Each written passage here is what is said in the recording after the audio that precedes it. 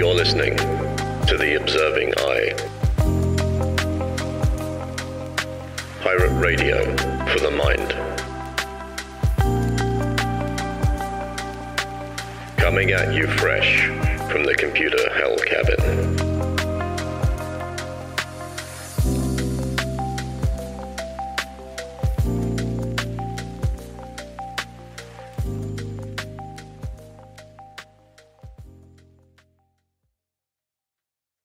Hello, you beautiful lot. It's Friday, the 30th of June, 2023, and episode 23 of The Observing I. If you're new, welcome aboard. If you're returning, welcome back. As always, I like to start these episodes with a brief moment of reflection. So, let's spend a few moments thinking about the good things that have happened this past week. And now a moment for the not so good.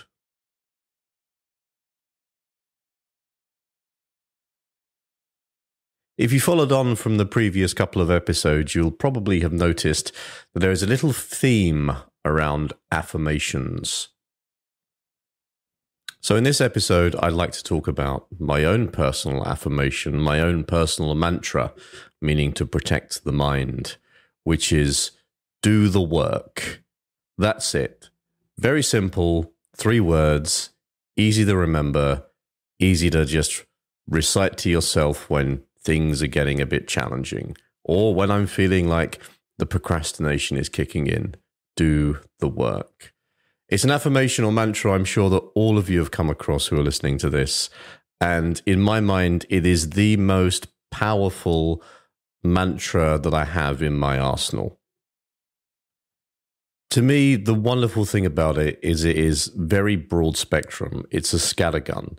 It can be applied to pretty much anything that you're doing in life. It can be personal growth, professional development, relationship building, health and fitness, spiritual practice, all of it, creative endeavors, everything.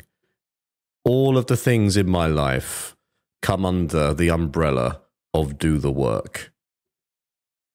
Not only does Do the Work cover the general plethora of life's things and stuff that, you know, comes up, on a deeper level, to me, it also refers to things like personal introspection and self improvement.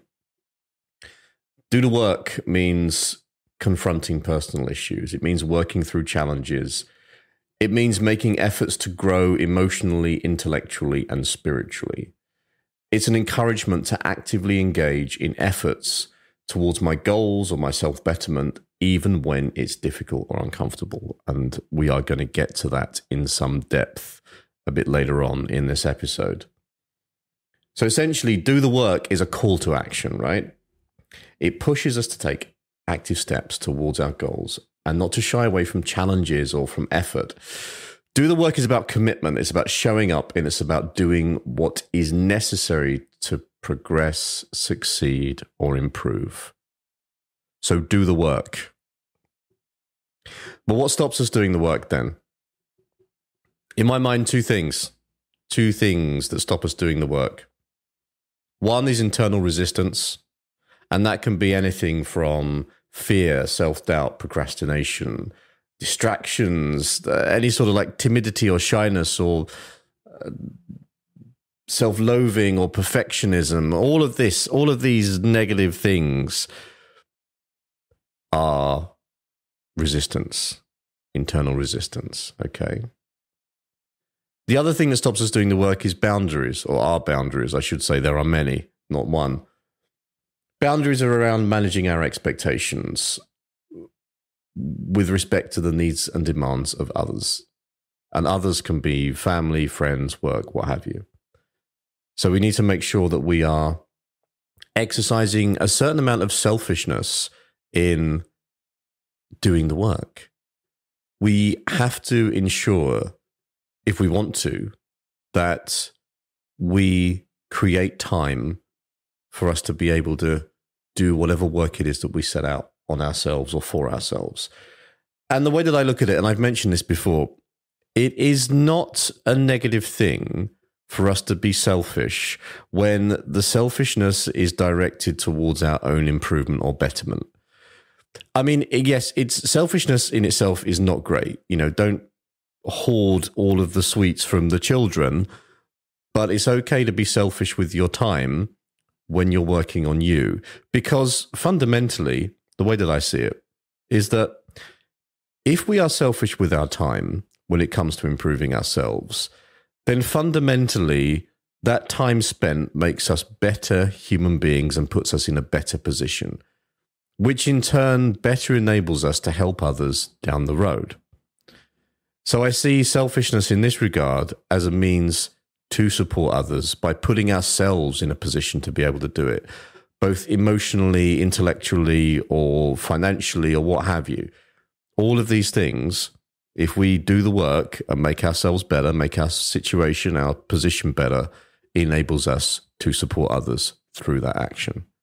So being selfish is not necessarily selfish in this context. Okay.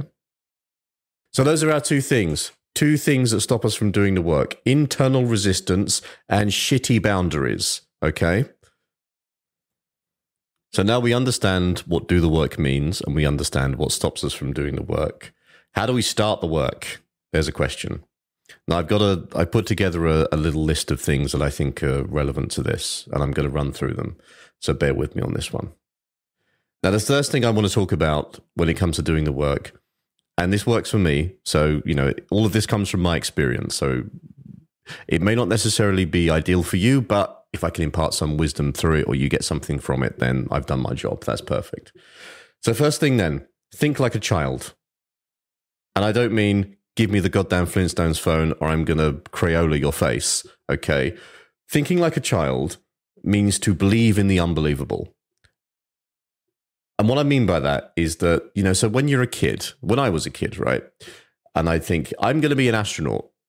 There was absolutely zero doubt in my mind. I was genuinely convinced that if I if I said I'm going to be an astronaut, then it would happen. Okay. As we get older, the world teaches us cynicism and it teaches us doubt.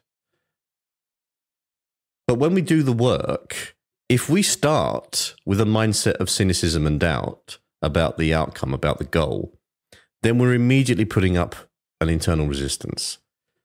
So for me, I've got to go into any venture where I am applying this mantra of do the work with that mindset of it's going to happen.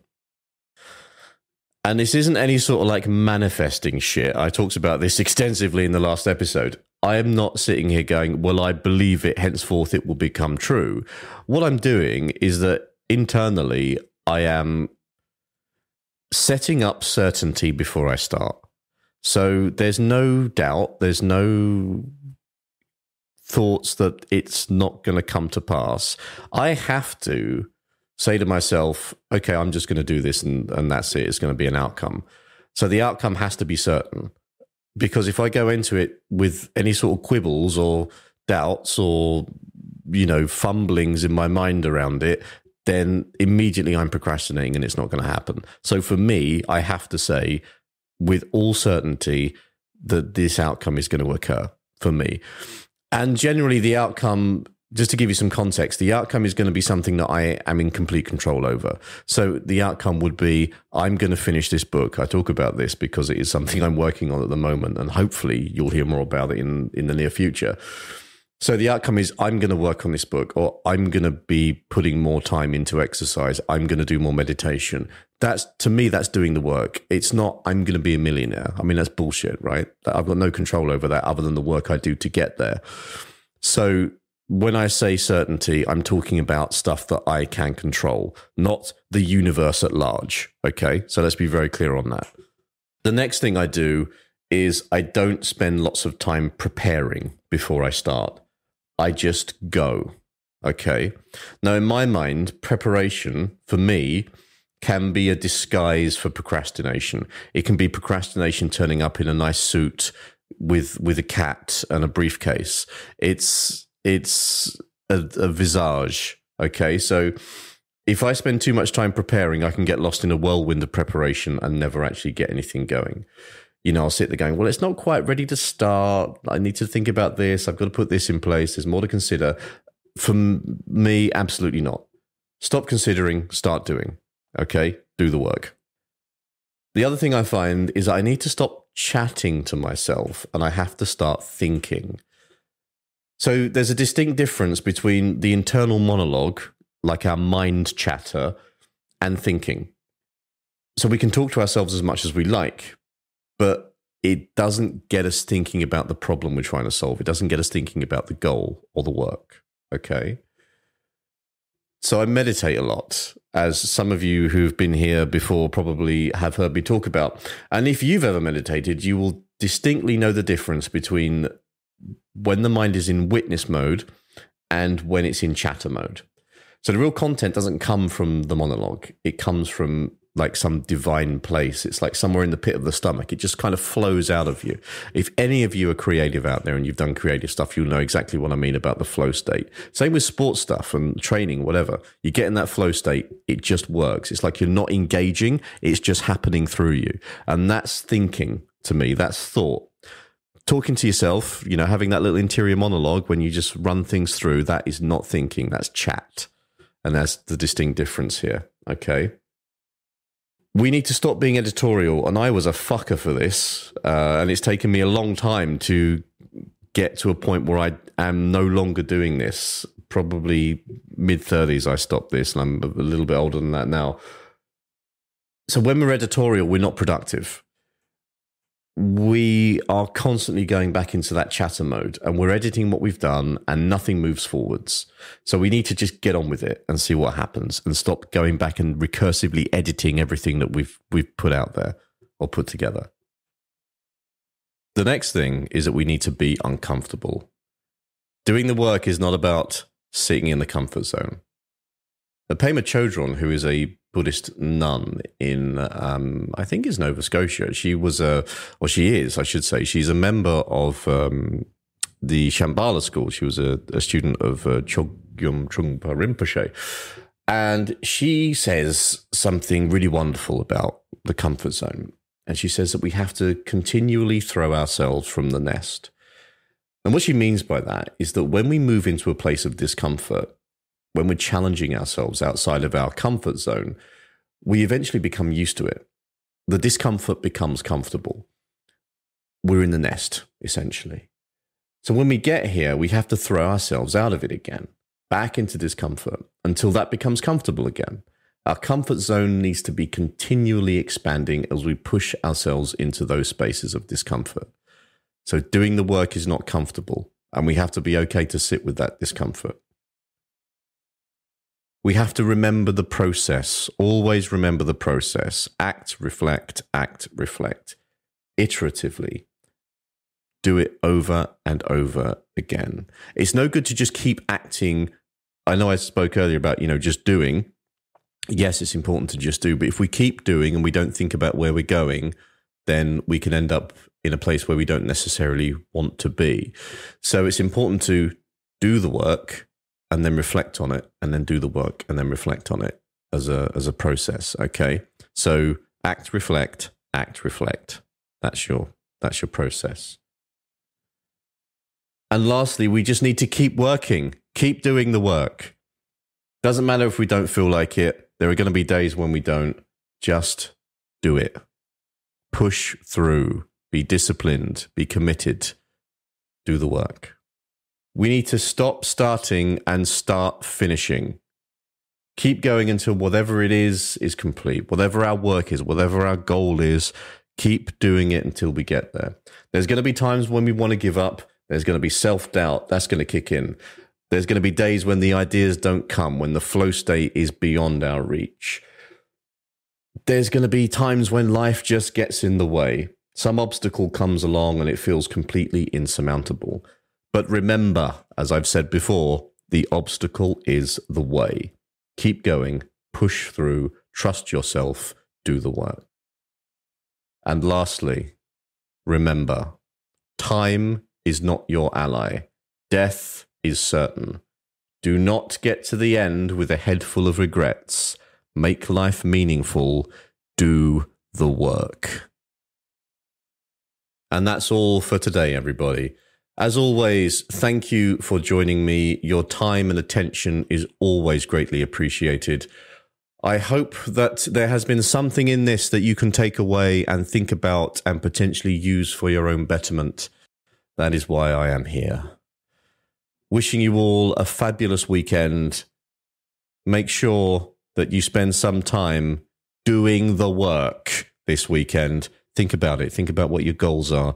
Think about what it is that you want, how you can self improve, self better. What is this thing that you've aspired to do that you've never quite got round to doing? Make this weekend the weekend when you begin. Do the work. Much love, everybody, and I'll catch you soon. You've been listening to The Observing I. Thanks for spending some time with me today. I hope that you found it useful. And if you're interested in any more of my writings or work around psychology and philosophy and general day to day living, please go and take a look at my Substack, which is the theobservingi.substack.com. And that's I as in the letter, not I as in the gelatinous organ through which you see. Take care, everybody. Much love, and I'll see you soon.